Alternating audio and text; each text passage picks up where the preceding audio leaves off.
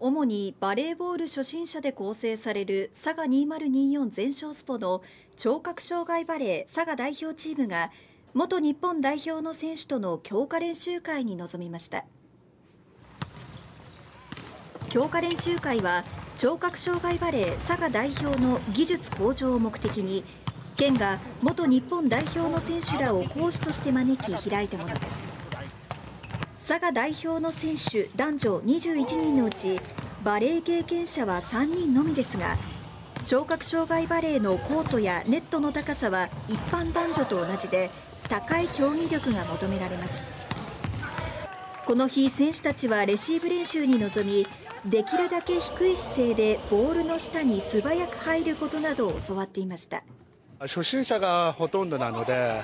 やっぱりバレーを楽しむっていう気持ちはやっぱり強いかなと思います。